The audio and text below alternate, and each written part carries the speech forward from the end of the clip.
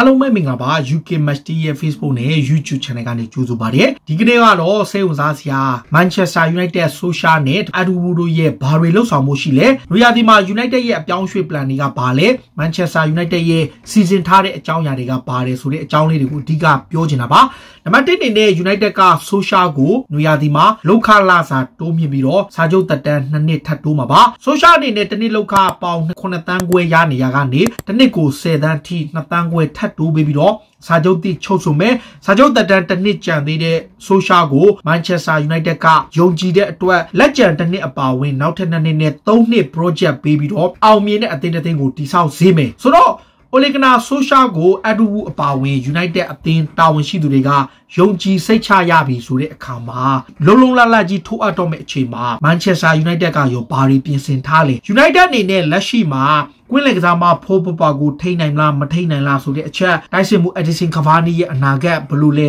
အန်သိုနီမာရှယ်ရဲ့အခြေအနေကရောဘလို့လဲခံစီမှုတယောက်ကိုဝယ်သင့်လား ဂျေဒန်ဆန်ချိုကိုပဲသူတို့ပြန်လိုက်သင့်လားနမဲထွက်နေတဲ့ဟာလန်ကရောမန်ချက်စတာယူနိုက်တက်ကခေါ်ချင်တာလားတို့လို့တို့လို့အများကြီးရှိနေတယ်အဲ့ထက်မှာနံပါတ်1အနေနဲ့ကွင်းလယ်မှာမရှိဖြစ်ဖြစ်လိုအပ်နေတဲ့ကွင်းလယ်ကသားမှာဖော့ဖော်ပါရဲ့အနာဂတ်ပုံမှန်ဆိုရင်ဒီနေ့ရာသီကုန်မှာတက်တန်းကုန်မယ်ဒါပေမဲ့မန်ချက်စတာယူနိုက်တက်ကကစားမတွေနဲ့ပတ်သက်ရင်အမြဲကလဲပါဖြစ်တဲ့အချက်က အပိုတစ်နှစ်ထပ်တိုးလို့ရမယ်ဆိုတဲ့သဘောတူညီမှုကိုထည့်သွင်းထားလိရှိတာပါအဲ့ချက်ကြောင့်ပဲ United ကဖော့ဖော့ပါကိုစာချုပ်တစ်တက်တန်းတိုးဖို့အတွက်ကြိုးပမ်းနေတဲ့အချိန်ဒီနှစ်လိုရသည့်အစမှာသူ့ကိုတစ်နှစ်ထပ်တိုးလိုက်လို့2020တိရှိတယ်ဒါပေမဲ့28နှစ်ရွယ်ရှိတဲ့ပြည်သစ်ကွင်းလယ်ကစားမကို Manchester United ထိန်းသိမ်းဖို့ခတ်တဲ့အချက်က Juventus ကအရန်လိုချင်တယ် Juventus ကအားကစားဒရိုက်တာကိုယ်တိုင်ကပြောထားတာဖော့ပါဟာ United ကနေနူရသည်မှာတေချာပေါက်ထွက်တော့မယ်ဆိုပြီးတော့ကိုအခိုင်အမာပြောထားတယ်ဒီလိုအချိန်မှာ မီနိုရီယိုလာကလည်းဖို့ပါရဲ့အပြောင်းရွှေ့အတွက်မန်ချက်စတာယူနိုက်တက်နဲ့သူ့နယ်ကြားမှာအမြဲတမ်းဆက်ဆံရေးဆိုးဝါးမှုတွေရှိတယ်ယူနိုက်တက်ကဖို့ပါကိုမထွက်စေချင်မှုတက်တန်းတိုးချင်ပေမဲ့ဂျူဗန်တက်စ်ကိုပြောင်းဖို့အရေးကတောက်လျှောက်ထွက်နေတဲ့အချိန်မှာအီတလီသတင်းစာထူထူစပို့ရဲ့အဆိုအရ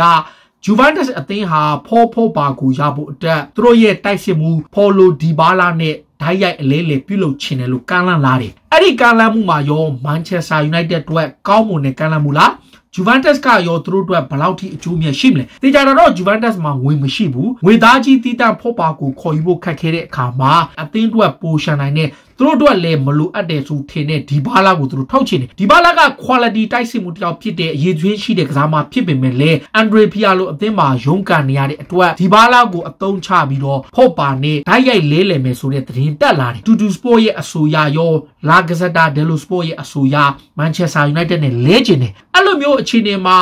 United အသင်းရဲ့တာဝန်ရှိသူတယောက်ကဖော့ပါရဲ့အပြောင်းရွှေ့မှာသူတို့ဘက်ကလည်းလက်ခံစဉ်းစားကောင်းစဉ်းစားနိုင်နေဆိုတဲ့သတင်းတွေတက်လာတယ်။ Manchester United ကအခုလက်ရှိမှာ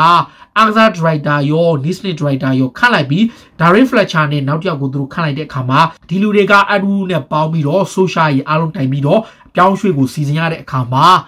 ဖော့ပါကို ထွက်ခွာခွင့်ပေးကောင်းပေးပြီးတော့ဒီဘာလာကိုလက်ခံနိုင်ပွဲရှိတယ်ဆိုတဲ့အခြေအနေမျိုးရှိလာတယ်။သူတို့ဒါဖော့ပါနဲ့ဒီဘာလာရဲ့အလဲထက်ကိုသူတို့ဘက်ကလိုလားတယ်ဆိုတဲ့အသွင်ဆောင်လာတဲ့သဘောတရားရှိတယ်။တစ်ချိန်တည်းမှာပဲ Manchester United ဘက်ကခုလောလောဆယ်မှာဝါရင်တိုက်စစ်မှု Edison Cavani ကိုဆက်ထိန်ထားနိုင်ဖို့လိုချင်နေတယ်။ Cavani ရဲ့လက်ရှိအနေထားရာ နွေရာသီမှာတက်တန်းကုန်မယ်တနစ်ထပ်တိုးလို့ရတဲ့သဘောတူညီမှုရှိတယ်ဒါပေမဲ့လည်းသူငငယ်တဲ့ကအိမ်မက်မှတ်ခဲ့ပြီးတော့အရန်ကစားခြင်းနဲ့ဘိုကာဂျူနီယာအသင်းကိုပြောင်းကျင်နေဆိုတဲ့သတင်းတွေလည်းရှိတယ်ခဘာနီရဲ့အဖေဖြစ်သူကလည်းတားဖြစ်သူဟာဘိုကာဂျူနီယာကိုပြောင်းဖို့အသင့်ရှိနေပြီးဘိုကာဂျူနီယာအသင်းကလည်းခဘာနီအတွက်နေရာဖယ်ပေးထားပြီဆိုတဲ့သတင်းတွေလည်းတောက်လျှောက်ထွက်နေတဲ့အချိန်34နှစ်ရွယ်ရှိတဲ့ဥရုဂွေးတိုက်စစ်မှုကို United ကဆက်ထိန်ထားနိုင်မလား မန်ချက်စတာယူနိုက်တက်ရဲ့ဒရိုက်တာဖြစ်သူကိုယ်တိုင်ကရောလက်ရှိနေထားရအားကစားဒရိုက်တာဘစ်နစ်ဒရိုက်တာနဲ့မှုဆောင်ချုပ်အရူရူတို့၃ယောက်ကအဒီဆင်ခဗာနီကိုတစ်နှစ်သက်တမ်းတိုးဖို့အတွက်ကြိုးပမ်းနေတယ်တကယ်လို့များခဗာနီသာညှင်းဆန်ပေချခဲ့ရင်ယူနိုက်တက်ဘက်ကတိုက်စစ်မှုတယောက်ထွက်ဝယ်ရမယ်အဲ့လိုမျိုးဖြစ်နေတဲ့အချိန်အန်သနီမာရှယ်ရဲ့အနာဂတ်လည်းမရေရဘူးရက်ရှ်ဖို့လိုပဲတေချာပေါက်အချိန်တွေအများကြီးပေးပြီးတော့ရင်းနှီးထားပေမဲ့လည်းမာကတ်ဝက်ရှ်ကခြေစွမ်းတည်ငြိမ်ပေမဲ့အန်သနီမာရှယ်ကရုန်းကန်နေရတယ်ဒီချက်ကိုယူနိုက်တက်ကသဘောမကျတော့အန်သနီမာရှယ်ကို နွေရာသီမှာအပြောင်းရွှေ့ဈေးကွက်တင်ပြီးရောင်းထုတ်နိုင်ပွဲရှိတယ်ဆိုတဲ့အချက်တွေလည်းဖော်ပြထားတယ်။မာရှယ်ကိုတိုင်က United မှာကောင်းကောင်းကစားနိုင်ပွဲရှိပေမဲ့လည်းဂိုးသွင်းစွန့်ရည်ပိုင်းဟာအရန်ကိုအားနေနေတယ်။ finisher လို့ခေါ်တဲ့ဂိုးကို convert လုပ်တဲ့အပိုင်းမှာအရန်အားနေနေနေတဲ့သူ့ကို United ကစိတ်ကုံသွားတဲ့အတွက်သူ့ကိုကမ်းလှမ်းလာမဲ့ကမ်းလှမ်းမှုတွေကိုလက်ခံသွားပွဲရှိတယ်ဆိုတဲ့အချက်အဲ့ချက်တွေကတောက်လျှောက်သတင်းတွေတက်နေတဲ့အချိန် Manchester United ရဲ့ social ကိုယ်တိုင်ကတော့သူတို့လိုချင်တဲ့ကစားသမားတွေကို target ထားလာတယ်ဒီနေရာမှာ United အနေနဲ့ဘိုးနောက်ခံလူတယောက် တောင်မကစားမတယောက်ကိုတော့သူတို့လိုချင်တယ်အဲ့ကစားမနှစ်ယောက်ကိုဒီနှစ်နွေရာသီမှာသူတို့အဓိက target ထားဖို့လုပ်တဲ့ခါမှာဘိုးနောက်ခံလူအတွက် Eric Bailly က United ရဲ့ပြဿနာကြောင့်သူ့အနေနဲ့စာချုပ်တိချုပ်ဆိုဖို့ကိုညှင်းဆန်ပယ်ချမယ်လို့ဆိုထားတယ် Daily Mail တို့ Daily Express တို့ကပြီးခဲ့တဲ့တပတ်လောက်က Eric Bailly စာချုပ်တိညင်းမယ်လို့လည်းဖော်ပြထားတယ် United အနေနဲ့ Eric Bailly ကိုသာဆုံးရှုံးခဲ့ရင် Lindelof နဲ့ Maguire နှစ်ယောက်က Axel Twanzebe ရဲ့၃ယောက်ပဲရှိတဲ့အချိန်မှာဘိုးနောက်ခံလူတွေတေချာပေါက်လုံမယ်ဒီနေရာမှာသူတို့ target ထားနေတဲ့သူက Villarreal ရဲ့ Spain နောက်ခံလူ Pau Torres ပဲဖြစ်ပါတယ် Pau Torres ကလက်ရှိမှာ Villarreal မှာခြေစွမ်းပြလို့ Spain လက်ရွေးစင်အသင်းမှာပါရွေးချယ်ခံထားရတယ် Unai Emery လက်ထက်မှာလည်းခြေစွမ်းပြနေတဲ့ဒီစားမကို United ကလိုချင်တယ်သူ့ရဲ့ရော်ကြီးစာချုပ်က45တန်းပဲရှိတယ်ဒါပေမဲ့ပြဿနာကဘာလဲဆိုတော့ Manchester United အနေနဲ့ Eric Bailly ရဲ့ situation ကိုအရင်ရှင်းထုတ်နိုင်မှခံစင်မှုတယောက်ခေါ်ရဖို့ရှိတယ်တေချာတော့ Lindelof နဲ့ Maguire ဟာ Social ရဲ့ first choice defender ဖြစ်နေတဲ့အတွက် Pau Torres ကဆိုအင်္ဂလန်ကိုလာပါမလားပြီးခဲ့တဲ့ report တွေအရပြီးခဲ့တဲ့နှစ်ထဲကနေစပြီးတော့ Torres က ပရီးမီးယားလိမှာပြောင်းရွှေ့ကစားနိုင်မှုအရေးအင်္ဂလိပ်ဘာသာစကားကိုကောင်းကောင်းသင်ယူနေတယ်ဆိုတဲ့အချက်ကြောင့် United ကိုပြောင်းရွှေ့လာနိုင်ပွဲရှိတဲ့အချက်နောက်တစ်ခုကသူကဘယ်တန်ဆန္ဒဘက်ဖြစ်တဲ့အတွက်ကြောင့်ဘယ်ချေကစားနိုင်တဲ့ဘိုးနောက်ခံလို့ဖြစ်တော့ United ကအဲ့ကစားမမျိုးလိုအပ်တဲ့အတွက် တေချာပေါက်လန့်နိုင်ပွဲရှိတယ်ဒါပေမဲ့လည်းတေချာတာတော့ Manchester United အနေနဲ့ယူရိုတန်45တန်ပေးနိုင်မှဒီကစားမကိုရမယ်ဒီနေရာမှာကျွန်တော်ခုနပြောလို့ပေါ့နောက်ခံလူတယောက်အဖြစ်တောင်မန်ကစားမတယောက်အနေနဲ့သူတို့အခုချိန်ထိ target ထားတာက Jadon Sancho ဒါပေမဲ့လည်း Sancho ကယူရိုတန်100သတ်မှတ်ထားတဲ့အတွက်တန်100အထက်ပေးနိုင်မဲ့အခြေအနေမျိုးအဲ့လောက်ပေးရမဲ့အခြေအနေမျိုးမှာသူတို့အနေနဲ့ plan B ထားထားတဲ့သူက Watford အသင်းရဲ့တောင်ပကစားမ Ismail Mailasa ပဲ Mailasa ဟာပြီးခဲ့တဲ့နွေရာသီတည်းက United ခေါ်ဖို့လုပ်ခဲ့တယ်စနီကောတောင်ပကစားမဟာပေါင်တန်း40ဂျိုကြီးစာချုပ်ရှိတယ် Watford အသင်းကသူ့ကိုခေါ်ခဲ့တုန်းကပြောင်းရွှေ့ခြင်းအတိုင်း35နဲ့40ကြာမှရရင်ရောင်းမယ်ဆိုတဲ့အချက်တော့ United အနေနဲ့ Jadon Sancho နေရာမှာ Mailasa ကိုအစားထိုးသွားဖို့စဉ်းစားကောင်းစဉ်းစားနိုင်တယ်။ဒါကြောင့် Sancho ရဲ့အပြောင်းအရွှေ့ကမှေးမိန်လာပေမဲ့တစ်ဖက်မှာတော့စာကိုသူတို့ဘက်ကခေါ်ချင်နေတဲ့အချက် Manchester United ကအခု Anthony Martial ရောခြေနေမကောင်းဘူး Cavani သာထွက်သွားရင်သူတို့ရဲ့အတက်ကကအခုချိန်ဒီ Haaland ကိုစိတ်ဝင်စားနေစေ။ Haaland ရဲ့လက်ရှိအနေထားရအားလုံးလည်းသိပါတယ်။အသင်းတိုင်းကလိုချင်နေတဲ့အချိန်မှာဟာလန်အတွက်ယူရိုတန်100နဲ့80ထိသတ်မှတ်ထားတဲ့အချိန်မန်ချက်စတာယူနိုက်တက်ကရောပေးပါမလားတကယ်လို့များအန်တိုနီမာရှယ်ကိုရောင်းချလို့ရမယ်တစ်ဖက်ကကစားမအချကိုရောင်းချလို့ရမယ်ဆိုတော့ယူနိုက်တက်အနေနဲ့ဝယ်ကောင်းဝယ်နိုင်ပေမဲ့တေချာတော့မန်ချက်စတာယူနိုက်တက်အတွက်ဟာလန်ကိုခွန်မဲ့အရေးကပြိုင်ဘက်ကလပ်တွေနဲ့ရှိရင်ငွေသုံးနိုင်မှာဖြစ်ပေမဲ့ဆိုရှယ်အနေနဲ့တခြားအပိုင်းတွေကိုသုံးကောင်းသုံးနိုင်တယ်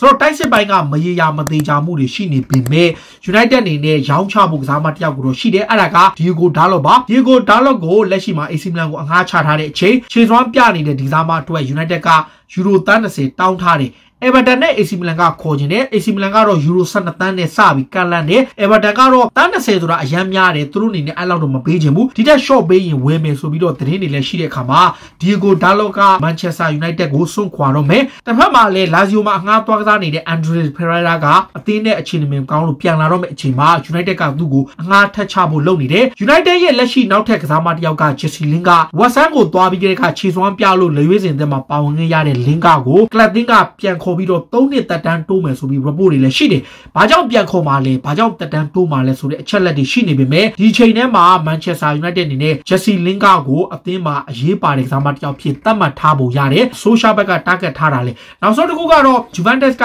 Queen လေကစားမ Adrian Rabiot က Manchester United ရဲ့ကစားမ Donny van de Beek နဲ့လဲဖို့အတွက်စီးရီကကလပ်အသင်းကစဉ်းစားလာတယ်လို့ပြောထားတယ်။ဖော့ပါနဲ့ဒီဘာလာလဲလို့ပဲ Rabios နဲ့ Donny van de Beek ကိုလဲကျင်တယ်ဒါက Manchester United အနေနဲ့ Rabios ကိုခေါ်ပြီးတော့ Donny van de Beek ကိုလဲတာကဖြစ်နိုင်ခြေရှိတယ် Donny van de Beek ကိုတိုင်ကလည်းအသင်းကထွက်ခွာခြင်းတဲ့အတွက် Rabios နဲ့ဂျာမာအလဲလဲဖြစ်နိုင်တယ်ဆိုရှာအနေနဲ့နွေရာသီမှာစာချုပ်တစ်သူကိုယ်တိုင်ချုပ်မဲ့အပြင်ဘယ်ကစားမတွေကိုခေါ်တဲ့လဲဘသူတွေကရောအံဝင်ပြီးတော့ဘယ်ကစားမတွေကထွက်ခွာတဲ့လဲမန်ချက်စတာယူနိုက်တက်အနေနဲ့ဘာတွေဖြည့်တင်းမှုလုပ်တဲ့လဲသူရိယာ project မှာဘလို့ပြင်ဆင်ပြောင်းလဲမှုတွေနဲ့မန်ချက်စတာစီးတီးတို့လီဗာပူးတို့လိုအသင်းတွေလိုရှင်းနိုင်တဲ့အသင်းဖြစ်နိုင်အောင်ဘာတွေလှုပ်ဆောင်တဲ့လဲကိုယ့်ရဲ့အမြင်လေးတွေကိုကွန်မမှာဝင်ရောက်မှတ်ချက်ရေးကြပါအားလုံးကိုကျေးဇူးတင်ပါတယ်အရေးတော်ပုံအောင်ရမည်